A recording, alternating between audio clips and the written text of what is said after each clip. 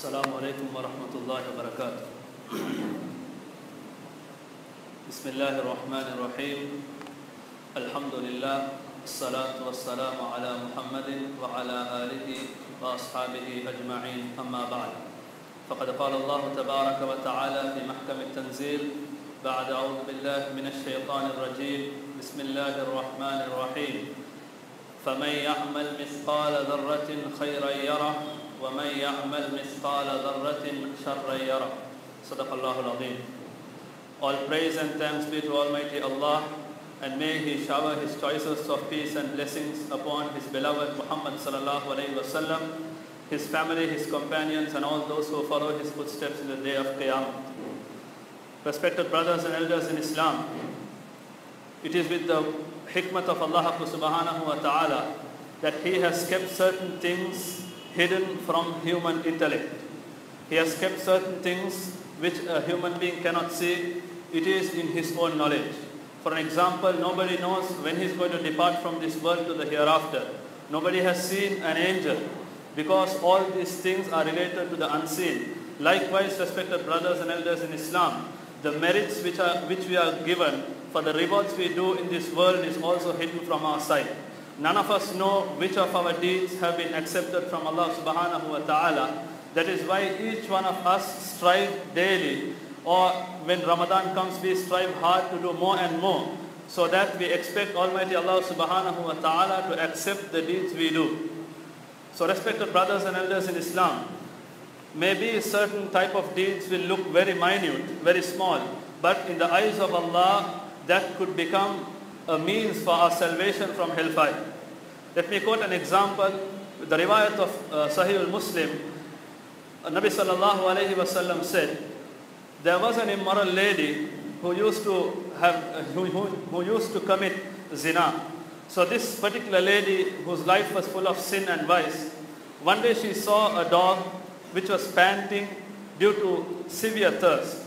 The moment she saw this dog, she wanted to quench the thirst of that dog, so she removed the leather sock which she was wearing and she uh, watered the dog in, so that it could quench its thirst. So the moment this happened, Nabi sallallahu alayhi wasallam said, Allah subhanahu wa ta'ala forgave this lady who used to commit sins in her life. Respected brothers and elders in Islam, when we look at this incident, we would think quenching the thirst of a dog is nothing. We might consider staying awake in tahajjud throughout Ramadan, we stay in Qiyamul Layl. It might be meritorious, but Allah subhanahu wa ta'ala accepted the deed of that lady, which was very minute. It won't even cost a rupee, but Allah subhanahu wa ta'ala accepted that deed from the lady and forgave her sins. So respected brothers and elders in Islam, the ayat of the Quran which I recited before you, Allah says on the day of Qiyamah, when people will be coming to the ground of mahshar in scattered groups, they will be, they don't know what their situation is going to be. So they will be really confused. So when they come there, they, the, the deeds will be shown to them. And Allah subhanahu wa ta'ala describes the, the preciseness of His recordings. He says, فَمَنْ يَعْمَلْ مِثْقَالَ ذَرَّةٍ خَيْرًا يَرَى The one who does good, the weight is equivalent to an atom weight of good, Allah subhanahu wa ta'ala would also bring that into account. Likewise, the one who does an atom weight of evil, even that would be brought in the court of Allah subhanahu wa ta'ala. Respected brothers and elders in Islam, we don't know which of our deeds have been accepted from Allah. We don't know. We are unaware of that. So therefore, as a Muslim, it is very important for each one of us to show very uh, show importance to even a very minute deed. For an example, saying a subhanallah, it is not going to take a, a minute or, or an hour. It's not going to take time. It is going to only take a millisecond to say subhanallah. But who knows in the court of Allah that subhanallah would be a cause for our salvation from hellfire. So respected brothers and elders in Islam, if we don't show that importance to the deeds, what would happen is Allah should protect each one of us. We would feel we would feel that we really are fooled by this world on the day of Qiyamah when we see so many opportunities which have dropped in our life. So I just briefly wanted to highlight a few deeds which we can bring in our life which could become a means of salvation for uh, salvation from hellfire. Number one is respect to brothers and elders in Islam. It is imatatul adha anit tariq. It is to remove whatever is causing obstruction to the people, not to cause inconvenience to the people. So we see a hadith in uh, Bukhari where Nabi sallallahu alayhi said, I saw a man who was enjoying himself in paradise because of one, one deed. And he mentioned the deed. Respected brothers, the deed which that man, was, man had done was, he saw a tree which was blocking the way. So he knew that it is causing some hindrance to the people. So he took measures to remove, that, remove the tree off so that people could comfortably move on. So because of this deed, Allah subhanahu wa ta'ala granted paradise to that man. When it comes to our times, respected brothers, when we come to Salatul Jum'ah or wherever we go, maybe we want to park our vehicles. At times we come a bit late and we see a, a very small gap, but we see that our vehicle can fit the gap. We just park the vehicle there. And when we come to the masjid, we sit in the khutbah and we listen to the talk. And once the khutbah is over, we, we are unaware that the vehicle which we have parked is blocking another person's vehicle. We are causing inconvenience to another Muslim brother. So we pray Jum'ah, we pray our Salat, we pray our Nafil, uh, and we pray, we recite Dua and all that. And by the time we reach the car park, we see my car is blocking another Muslim's vehicle. Respected brothers and elders in Islam, parking our vehicles in such a way that it will not cause hindrance to others could also be considered amongst this. And also another example, respected brothers, in our times, we see in certain uh, masajid where Jummah Salat is conducted, we see some leaflets are distributed outside the masjid. Maybe when Eid al-Fitr or a festival season, we see uh, leaflets regarding uh, so many caterers. At times we see so many institutes distributing their uh, leaflets outside the masjid. We cannot put a stop to that. But we who attend the Jummah Salat, what we can do is, before we take the leaflet, as Muslims, we should see whether the leaflet which I'm going to take is going to benefit me or not. Am I interested in the course or not? If I am not interested, I can say to that brother who is distributing it, brother, I'm not interested with this, you can give it to somebody else. If not, what happens generally is, we take the leaflet with us, the moment we see it is something not relevant to us, we just throw it to the road and we leave off. But the saddest part is, respected brothers, some masajid, not everywhere, we see once the Jummah Salat is over, by 2 o'clock, when we visit the same masjid for Salatul Asr, you would see that the masjid, the roads are polluted. So those people who are in charge of cleaning the roads, they would say, when, when Friday comes, the whole road is polluted because of these leaflets and these people are the ones who are cause for this. So what we can do is, respected brothers, before we take a leaflet, if we are really interested, we can proceed. If not, we can give it back to him.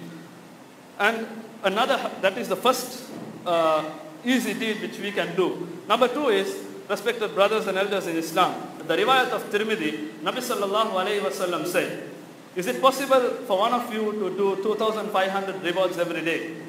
The Sahaba were amazed. They thought, how come 2,500 deeds every day? So Nabi sallallahu alayhi wasallam gives the prescription. He says, this is the way you do it. And he said a very easy amal. Maybe most of us are practicing it. Whoever is practicing can keep on practicing with the ihtisab, expecting the reward from Allah. If we don't have it in life, let us bring it into practice from today.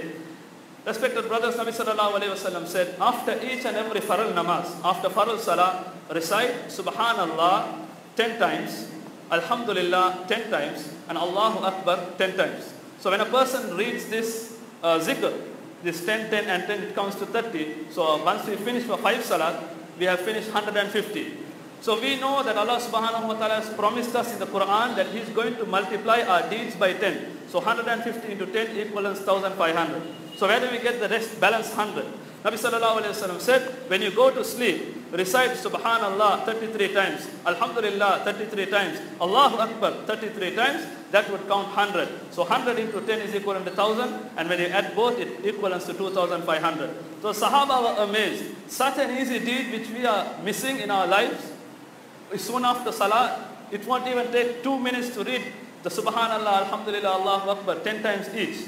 How come we miss it? Nabi sallallahu alayhi wasallam said the reason for that. He said when a person starts to pray, shaitan comes in between and he starts to whisper into a person's mind saying, you are in prayer, immediately after your prayer you have got so many things to do. So see that you immediately, once you give salam, leave the masjid and attend to your work. So shaitan tricks us. Because of that we forget to do the deed. End of the day, we have missed out so many good deeds.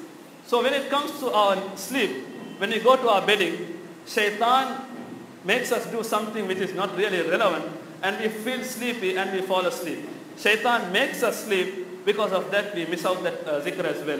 So respected brothers and elders in Islam, if we can adhere to this as well in our life, inshallah Allah subhanahu wa ta'ala would reward us with 2,500 rewards. Allahu Akbar. Do you, do you think that we might commit 2,500 sins every day? Allah forbid, we won't, I don't think we would, uh, we would commit so many sins. But Allah is merciful. Allah is ready to give us rewards in multiple folds. But if we can make a small sacrifice, take two to three minutes of our uh, 24 hours time and it will be a nur for uh, this world and as well as the hereafter. Number three is respected brothers and elders in Islam. When it comes to describing and discussing regarding deeds, we always focus ourselves, our attention is towards the masjid, uh, taking a tasbih uh, or doing some hajj or so on. But respected brothers, this deed which I am going to uh, mention to you now is a sort of a deed which is really at times is difficult but it has great reward. Nabi sallallahu alayhi wasallam said, the best amongst you is the one who is best to his wives. This is a topic on its own but I just want to highlight briefly. Nabi sallallahu alayhi wasallam said, the best of you is the one who is best to his wife, his family. And thereafter he said, I am the best to my family. When it, Nabi sallallahu alayhi wasallam says about himself, he says, I am the best to my family.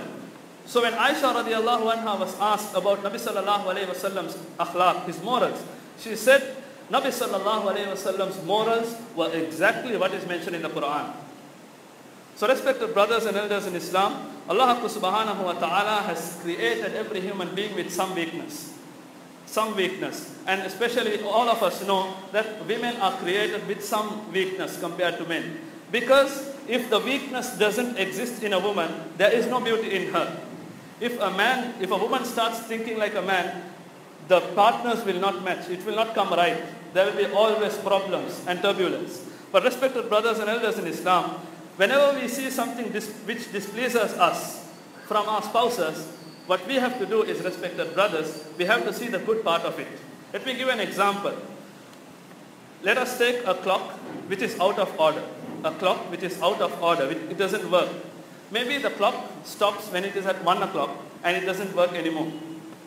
But we have to keep in our mind that this clock which is in out of order, it is no longer working. It says the truth twice a day. It says the truth twice a day. So when it is afternoon, when it is 1 p.m., it doesn't indicate it's 1 p.m., but it shows it is 1 p.m. And likewise, if it is 1 a.m., it shows it is 1 a.m. So likewise, respected brothers, maybe we see 98% of things which displease us. Maybe there is 2% in our spouses which we can appreciate. We can look into that and we can start interacting with them in a very nice manner. And also, one of the very important things which our spouses expect from us is we need to appreciate what they do.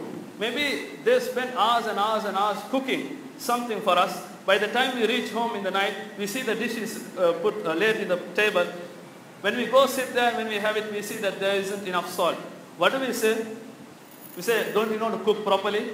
Is it the way you treat your husband? I, I work hard and I come back home and I get this meal. These sorts of comments should not be mentioned because even they had to undergo some difficulty to prepare that food for us. If not, respected brothers and elders in Islam, maybe outwardly a couple could live together, but within their hearts they will not have unity. And finally, I would like to conclude with a quote which a sheikh mentions in his book.